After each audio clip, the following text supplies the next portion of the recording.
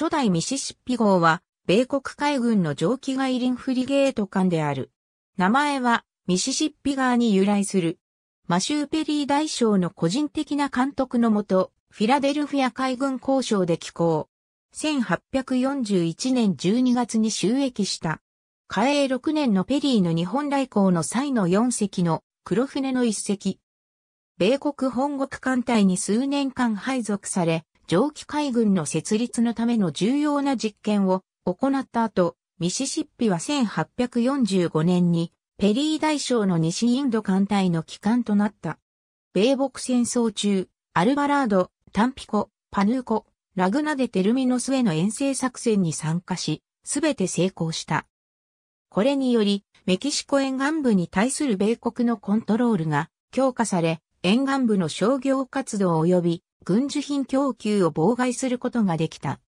ミシシッピは修理のため、1847年1月1日にノーフォークに一旦戻り、修理完了後、本国艦隊の司令官となったペリーを乗せ、3月21日にはベラクルスに到着。海陸共同作戦であるベラクルス包囲戦に参加し、武器と兵員を輸送したほか、陸軍と協力し沿岸部及び砦の砲撃を行った。メキシコ軍は4日後に降伏した。戦争の残りの期間、ミシシッピは何度かメキシコ東岸に対する武器、兵員輸送任務に参加し、6月のタバスコ州占領作戦にも参加した。1849年から1851年の間は地中海で任務につき、この間にハンガリーの革命家、コシュートラヨシュの亡命を手助けしている。その後、ペリーの日本訪問艦隊の機関となるべく、米国に戻った。この任務はもともとジョン・オーリツクに与えられたものであったが、オーリツクが中国で病を得たため、ペリーがその代わりを務めることになったものである。艦隊は、ハンプトン・ローズを1852年11月24日に出港、マデーラ、希望本、香港を経て、1853年5月4日に上海に到着した。ここでミシシッピは、機関任務をより新しい蒸気外輪フリゲートであるサスケ花に譲っている。艦隊は5月17日に上海を出港し、5月26日に那覇に到着、琉球王国に開国を促す大統領新書を手渡した。6月9日に那覇を出港、6月14日から6月18日にかけて小笠原諸島を探検した。6月23日に一度琉球へ帰還し、7月2日に日本へ出港した。1853年7月8日に浦賀沖に到着。ペリーは海軍及び外交歴上最も困難かつ重要な任務の一つとされる日本開国任務を開始した。フィルモア大統領の新書を幕府に提出後、艦隊は7月17日に江戸を離れ、香港へ帰った。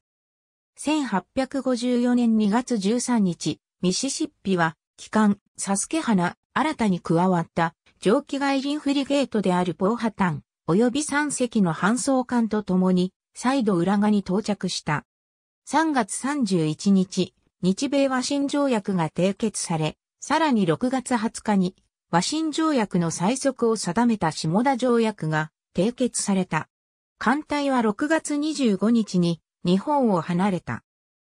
ミシシッピは1855年4月23日にニューヨークに戻り、1857年8月19日、再び極東に派遣され、上海を基地に急拡大しつつある米国の東洋貿易をサポートした。1859年6月には、ジョサイア・タットノール大将の機関として、英国及びフランス軍と協力して王庫砲台を攻撃した。2ヶ月後にはアメリカ領事からの要請により、上海の治安回復のため部隊を上陸させている。1860年にはボストンに戻るが、南北戦争の勃発により、新たな任務に就いた。ミシシッピは1861年6月8日に、キーウェスト沖に到着し、海上封鎖任務に就いた。5日後に、コーヒーを満載し、リオデジャネイロからニューオーリンズに向かっていたスクーナーを打破した。11月27日、ミシシッピ川の北東航路沖で、搬送戦闘スループヴィンセンスと協力し、同じくコーヒーをリオからニューオーリンズに輸送していた英国のバークを拿捕した。翌年春にはニューオーリンズ攻撃計画のためファラガット艦隊に加わった。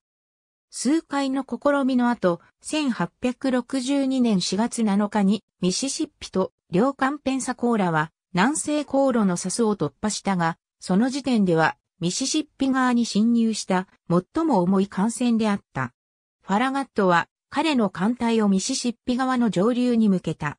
ニューオーリンズを目指す中、4月24日に重要な戦闘がジャクソン要塞とセントフィリップ要塞で発生した。南軍の昇格艦、マナサスは艦隊の通過を阻止しようと試みたが、ミシシッピはその強力な左右の二つの外輪の力でマナッサスを浅瀬に座礁させた。町の運命はこれで決まった。1862年4月28日、ニューオーリンズは陥落した。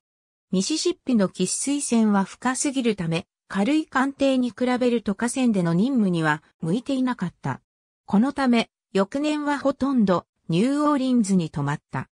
翌1863年3月、ミシシッピはハドソン皇大佐と副官のジョージ・デューイは艦を離礁させるべくあらゆる手段を講じた。しかしながら、機関は破壊され、大砲は沈黙し、南軍による露獲を避けるため、ミシシッピは自らに火をつけた。火薬庫に火が回り、ミシシッピは爆発、沈没した。64名が死亡、224名が他の間に救助された。ありがとうございます。